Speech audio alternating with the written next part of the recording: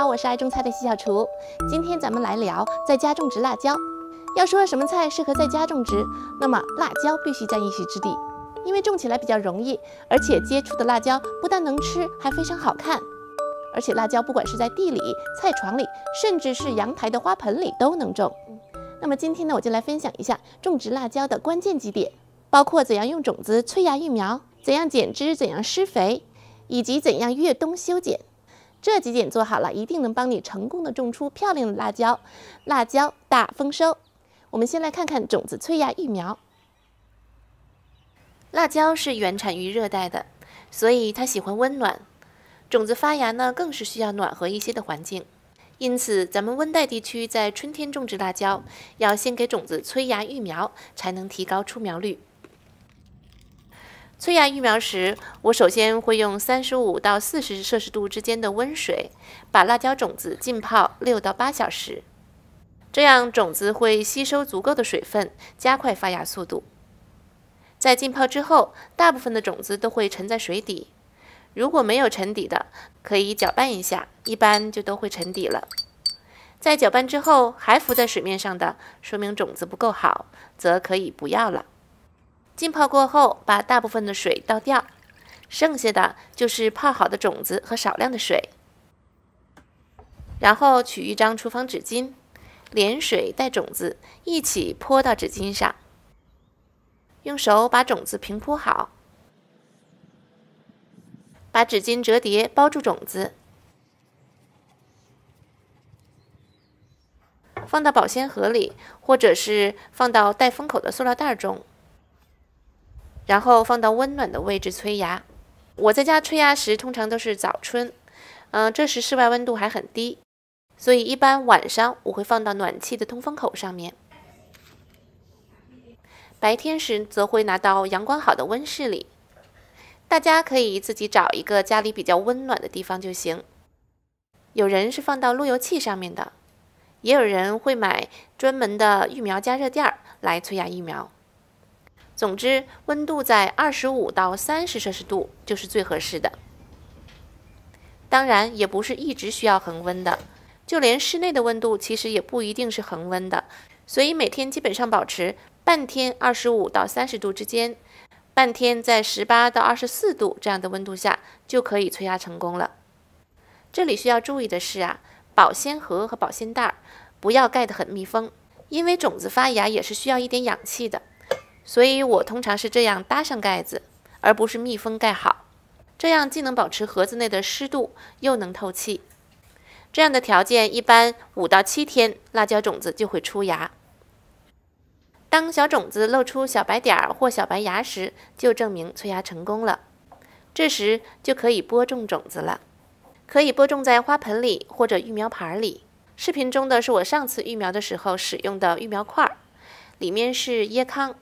不含有营养，但是吸水效果非常好，主要就是方便。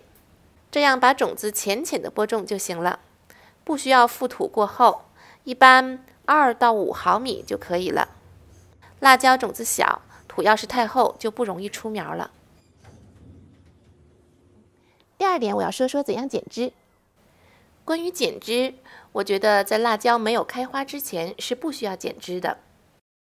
当第一朵花开放之后，就可以把第一朵花以下的叶子和叶芽剪除就行。一般第一朵花是会在这个大的枝杈上上面一点的位置开放，那么就是这个大的 Y 字形枝杈下面的叶子和叶芽全都剪掉。大家看，这些是叶子，在叶子和主干之间发出来的这些就是叶芽，这个要剪除掉。这样就可以保证营养都供给给之后的花和果了，不会在长叶芽上浪费营养。而且这样的辣椒植株会长得很漂亮，一根主干，然后上面长得繁茂，像伞形。第三点是很多朋友关心的，就是施肥。关于施肥，种植辣椒时，从春天移栽定植小苗到来年冬季准备越冬的这个期间。我会在以下的这几个阶段进行施肥。第一次施肥是在移栽定植小苗时，这时候我会使用一些有机肥做底肥。底肥可以用自己做的堆肥、波卡西肥、买的牛羊粪肥或者是有机复合肥等等。你也可以根据土的性质，用两种或两种以上的有机肥混合使用。底肥的具体分类和使用方法呢？我之前做过一期专门介绍关于底肥和基肥的视频，那里有详细的介绍，感兴趣的菜友们可以去看看。在定植小苗时施用了底肥之后，一般定植到结果需要两个月的时间，那么在这两个月内我就不施肥了。底肥使用得当，肥效一般至少可以维持两个月。第二次施肥是在定植两个月之后，开始接了第一批辣椒时，这时候可以追肥。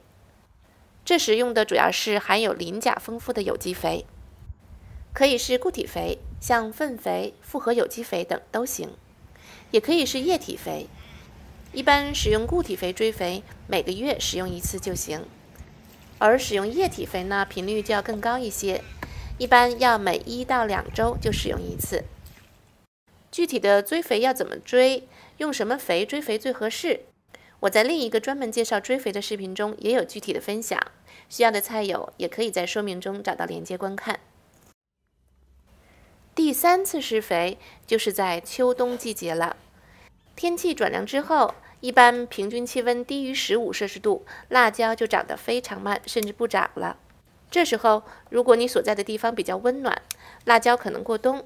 那么就可以在这时进行越冬修剪，同时施一点有机肥，帮助辣椒植株在冬眠期间休养生息，为来年春暖花开、蓄势待发时打好基础。但是如果你那里很冷，辣椒不能过冬，那么在气温低到十五摄氏度以下时，把最后一批辣椒都采收完之后，就可以把辣椒的植株拔掉了，来年春天再重新育苗栽种。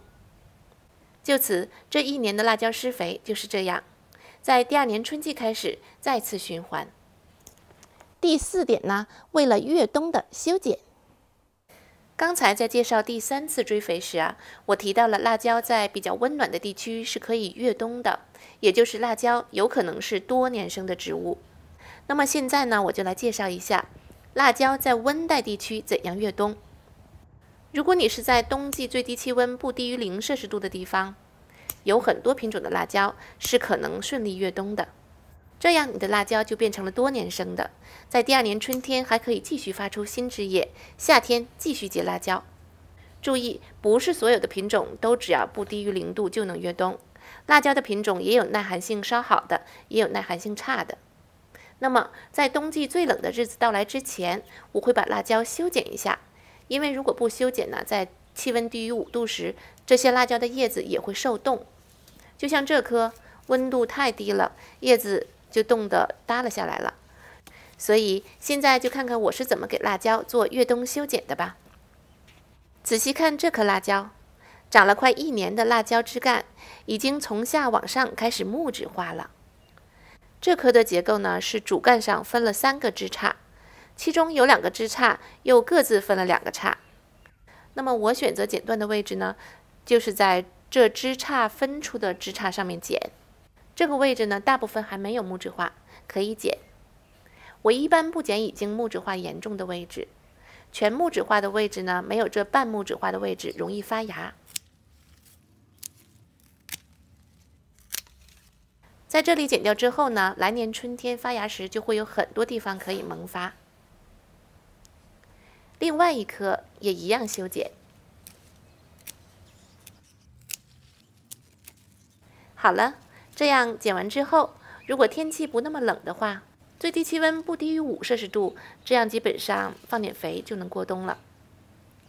如果气温低到零摄氏度了，像我们这里啊，去年就比较暖和，最低气温也没有到零度，这颗辣椒呢就是顺利过冬。今年夏天呢，又结了满满的一束辣椒。但是今年冬天呢就非常冷，前段时间有几有几天呢达到了零下三度，这样的温度呢，要想辣椒顺利过冬，最好是给根部盖上一些干草或者是地膜，可以帮助根部保暖。今天呢，我再顺便说一下关于气候的分区吧。我以前提到过，我们这里是十 A 区，什么概念呢？这个十 A 区啊是耐寒区的分区，意思是冬季最冷的时候的温度呢，可以达到零下一点一度到零上一点七摄氏度之间，这是十 A 区最冷的温度值，说明我们这里有霜冻的可能。今年就是达到了零下。